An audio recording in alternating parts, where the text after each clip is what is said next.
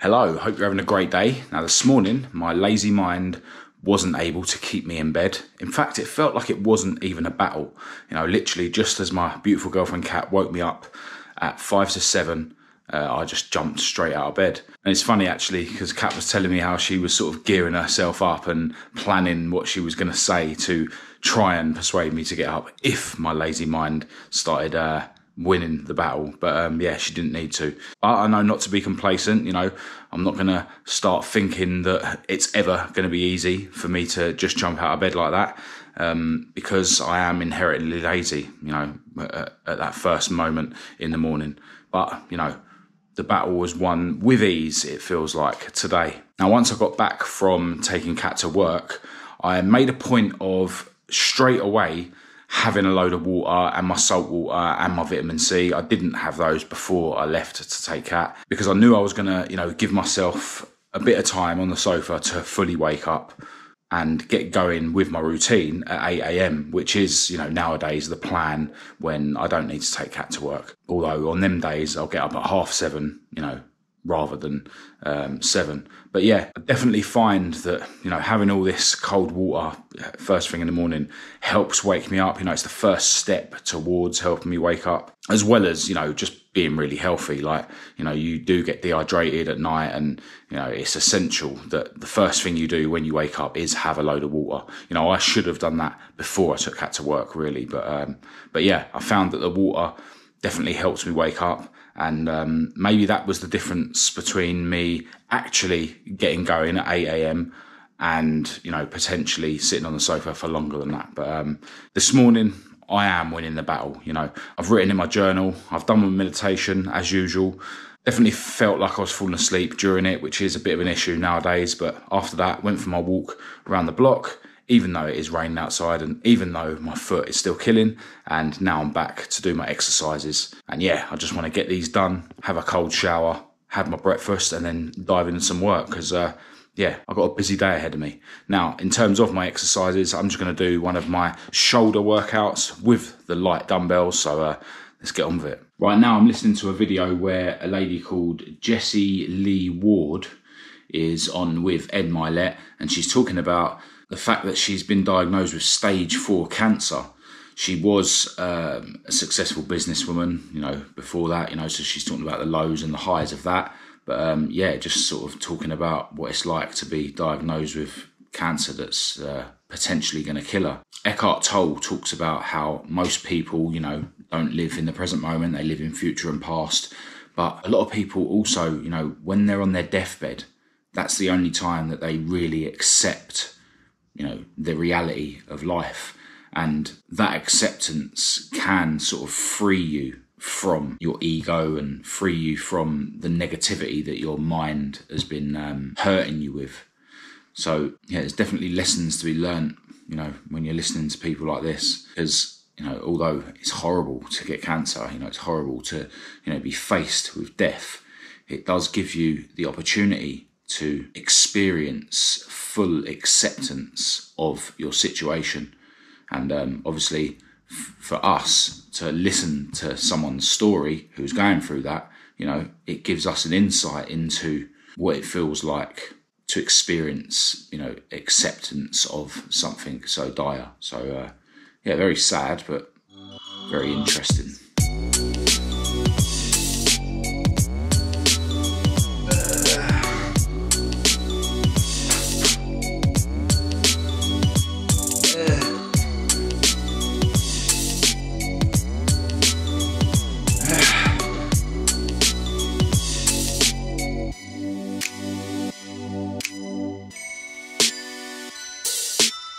All right, it is now 1 pm, and I was hoping to get myself around the garage here at home way before 1 pm.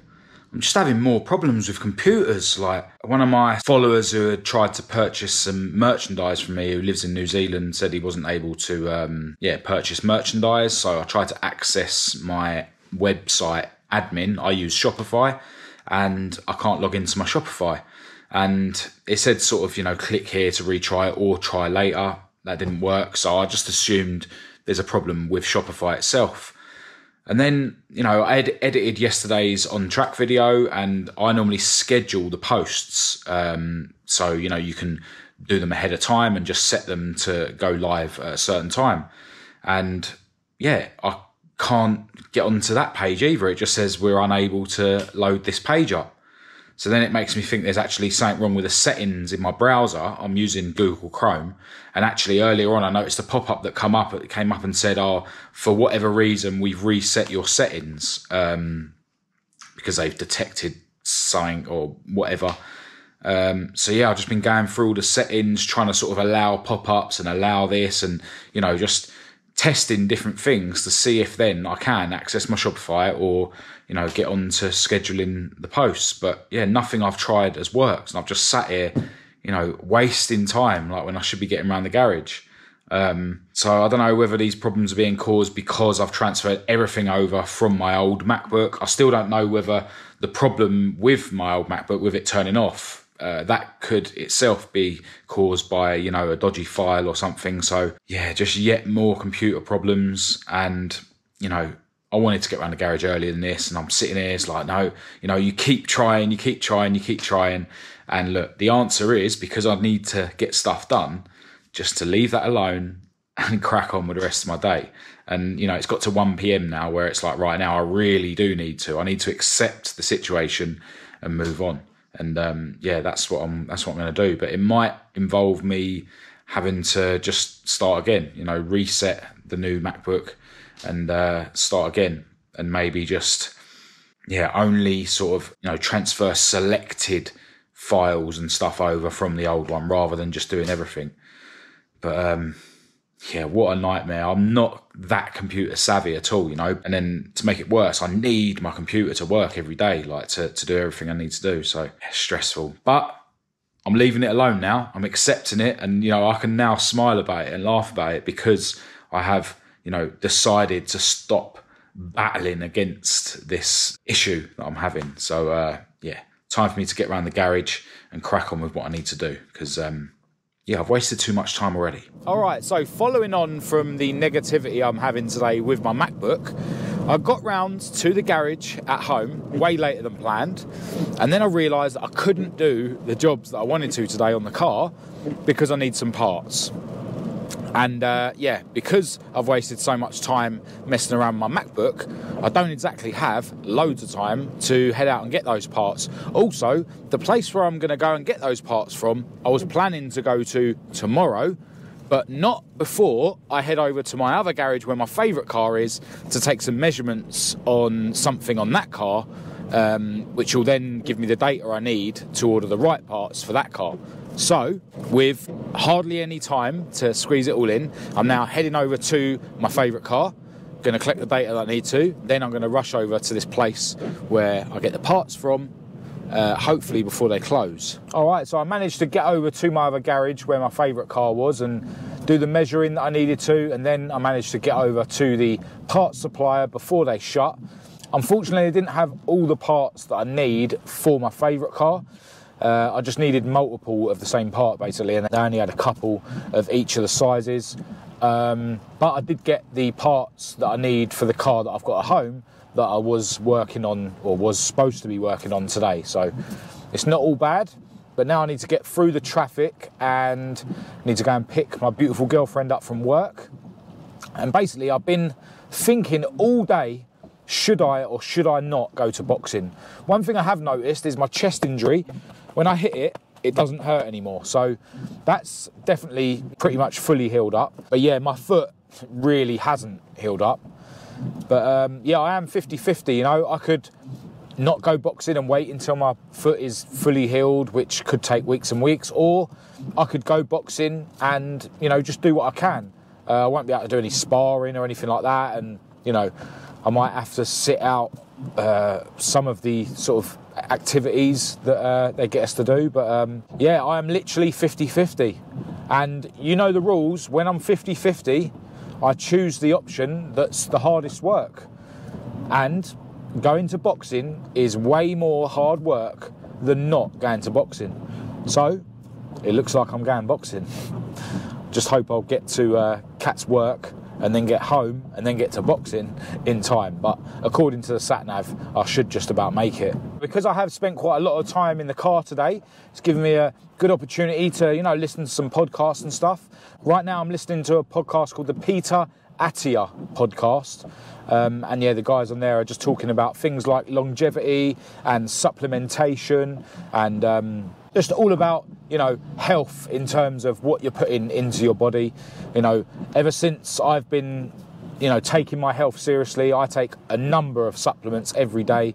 You know, I'm not one to get my blood tested every month, um, so you know I just sort of stick to the, the main vitamins and minerals that everyone needs. You know, I am kind of guessing it, which you shouldn't really do. You should uh, seek advice before you take anything. But you know, things like vitamin C, things like vitamin D, things like fish oil and omega-3 capsules, like you know, they're all things that most people you know don't get enough of in their diet. So yeah, I just make sure that I supplement every day as well as you know having a relatively clean diet.